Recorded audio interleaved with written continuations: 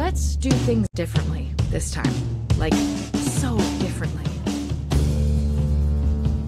His name is Miles Morales.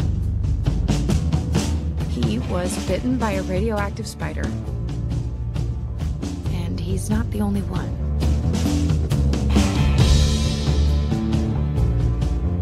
He hasn't always had it easy.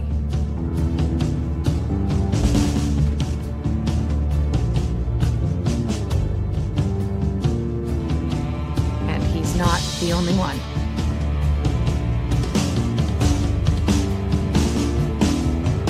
Now he's on his own.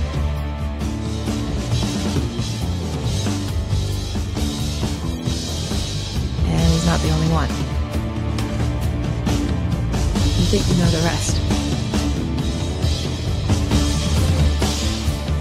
You don't. I thought I knew the rest, but